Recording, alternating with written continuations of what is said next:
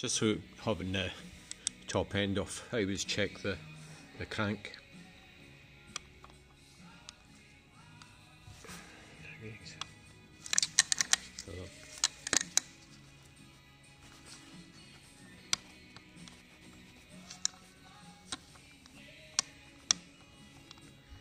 quite a bit of playing that. It's tough to check the manual. There's about about 26 thou filler plates you can get down the side there.